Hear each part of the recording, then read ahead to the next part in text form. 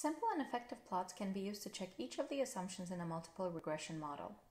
This video reviews a range of such tools covered in OpenIntro statistics discussion of checking model assumptions using graphs. We will begin by reviewing the key assumptions in multiple regression, and then we'll see a few examples of diagnostic plots in action. Throughout this video, we will focus on a multivariate model for the auction price of a video game. This multivariate model uses the Mario Kart dataset that also appears in the Introduction to Multiple Regression and Model Selection videos for OpenIntro statistics. Here we're using the reduced model, which only includes statistically significant predictors of auction price. Notice we're writing the estimated price as a linear function of the various predictors. Multiple regression models generally depend on four assumptions. We require that the residuals of the model are nearly normal, that the variability of the residuals is nearly constant, that the residuals are independent, and that each variable is linearly related to the outcome.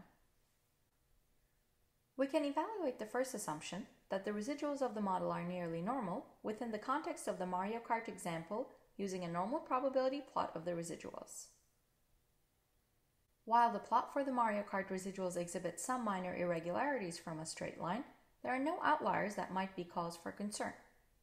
In a normal probability plot for residuals, we tend to be most worried about residuals that appear to be outliers, since these indicate long tails in the distribution of the residuals.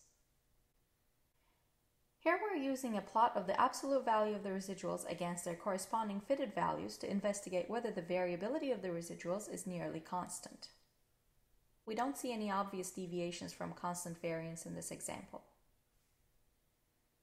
To investigate whether the residuals are independent, we created a plot of the residuals in the order that their corresponding auctions were observed. This plot is helpful in identifying any patterns between cases that are close to one another in time. Since consecutive points do not appear to be related in this figure, we see no structure that would indicate a problem. Lastly, we will use a plot of the residuals against each predictor variable to investigate whether each variable is linearly related to the outcome.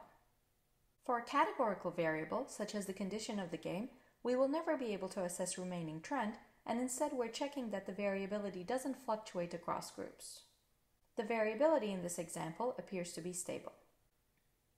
Turning our attention to the residuals against the wheels variable, we see some possible structure. There appears to be curvature in the residuals, indicating the relationship is probably not linear. In this video, we were introduced to the assumption of multiple regression and a few diagnostic plots that can be helpful in checking those assumptions. If you learned something you found interesting, share this video with a friend and visit openintro.org for more resources.